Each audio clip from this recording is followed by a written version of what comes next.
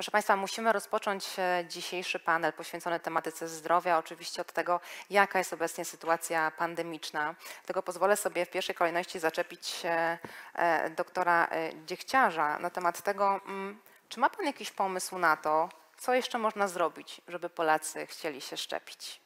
Ma Pan mikrofon przed sobą, prosiłabym.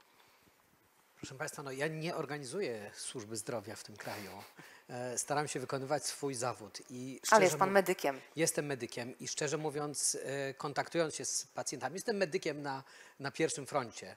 E, No to niestety mm, mam smutną refleksję, mimo że pracuję tutaj w Warszawie, gdzie e, zaszczepialność jest bardzo, bardzo wysoka, to sceptycyzm wobec szczepień zupełnie dla mnie niezrozumiały, jako dla lekarza pediatry.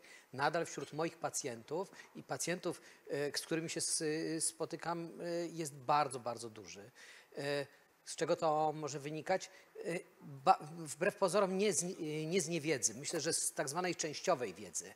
To znaczy e, najgorzej mają ci, którzy trochę wiedzą e, i wiedzą za mało, żeby móc objąć to wszystko swoją własnym, e, swoim własnym rozumem. I niestety taka jest wiedza dużej części naszego spo, spo, społeczeństwa. Ale odpowiadając na takie pytanie, co można jeszcze zrobić?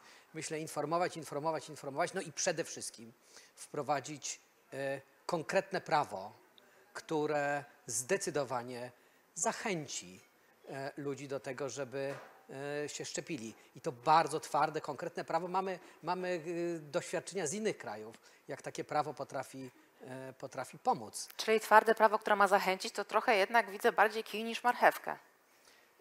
No, marchewka już była. No właśnie. Mhm. I jak widać nie za bardzo za, y, zadzia- działała, więc apelowaliśmy do sumień, do solidarności, do rozumu i to się nie, nie udało, więc no, myślę, że państwo powinno w tej chwili przyjąć bardziej twardy kurs niż do tej pory.